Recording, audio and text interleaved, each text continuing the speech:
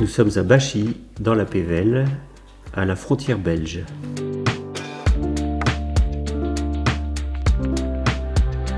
Par hasard.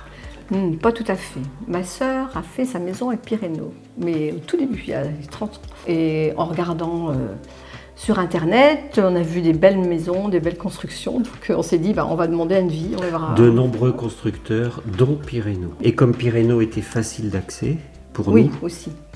nous sommes allés directement à la maison mère à Ouescal.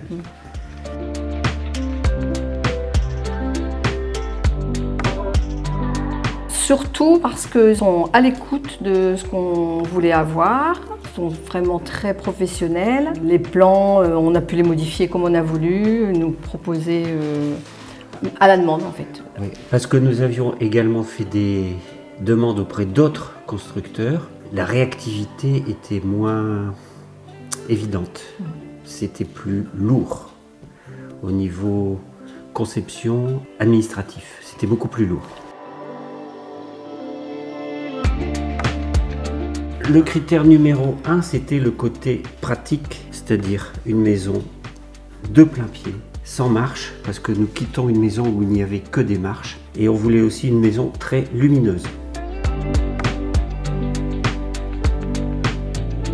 On a eu de très bonnes équipes, euh, surtout les maçons, très rapides, ils étaient très polis. Quand on demandait des explications, ils nous demandaient, donnaient des explications.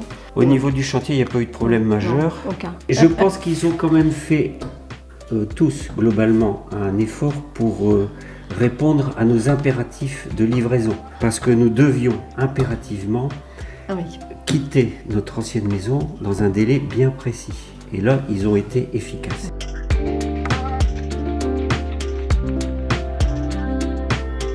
Alors, moi, la- l'agencement, c'était le moins de cloisons possible. Un espace euh, Ouvert. ouvert et utilisable à 100%, à part les baies vitrées qui demandent quand même pas mal d'entretien, mais pour le reste, euh, ça va tout seul. Et enfin, le troisième critère, une maison qu'on peut quitter quelques semaines sans trop de problèmes. Elle est, elle est facile à fermer. Bah, enfin, les, les persiennes se ferment automatiquement. Il y a la Persienne, domotique. alarme, au niveau domotique, ça va.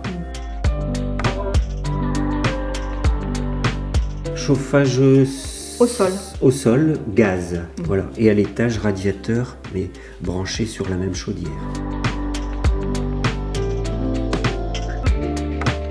Alors, le- entre le premier coup de téléphone, c'était en mars 2017, Oui. et la livraison de la maison officiellement 1er avril 2019. Pour la construction en elle-même, il faut compter 12 mois. On a fait un, un mix entre la brique traditionnelle et le crépi.